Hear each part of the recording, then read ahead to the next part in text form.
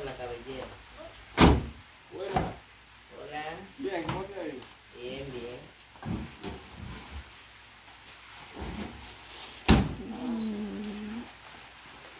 Buenos días. Buenos días. ¿Cómo va todo? Bien. Todo bien.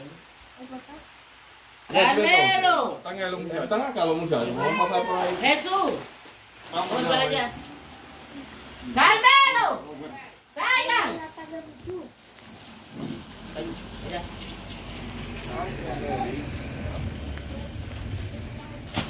Buena, buena.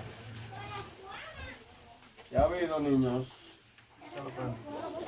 Bien. Bueno. ¿Y ustedes? ¿Todo bien? Y... ¿qué tal? Déjame entrevistarlo. ¿Y ¿Cuántos años usted tiene? ¿Cuántos años usted tiene? 14. Ah, muy bien. Nosotros estamos aquí porque escuchamos unos videos que están, están pasando en las redes sociales y, y algo que nos motivó es que ustedes no tenían con qué ir a, la escuela. Traemos cuadernos, lápiz, ropa para que vayan a la escuela. Eh, Cristian, Eh, y algo para masticar.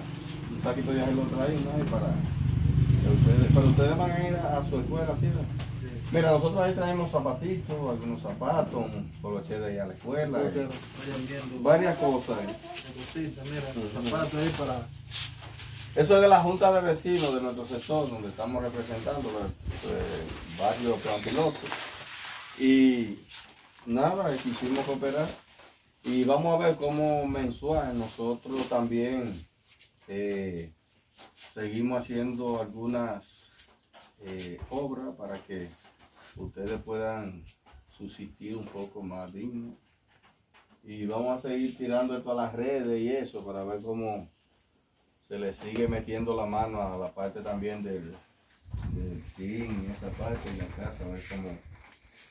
Porque es lo que yo le digo a las demás autoridades o, o a las autoridades, es la palabra, que nos unamos todos, porque unidos podemos hacer, eh, podemos cubrir la necesidad de que nuestro pueblo como provincia eh, necesita. Sabemos que nuestra provincia es una provincia pobre eh, por las administraciones que tenemos por décadas, pero sabemos que nuestra provincia es de las 32 provincias la provincia más rica.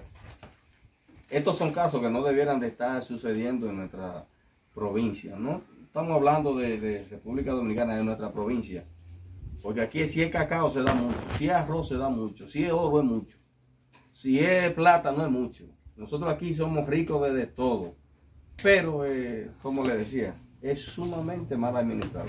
Así es que, que pueda ver este video, puede unirse a esta causa, nos puede tirar, estamos en la comunidad de Duero, eh, una pequeña comisión de la Junta de Vecinos.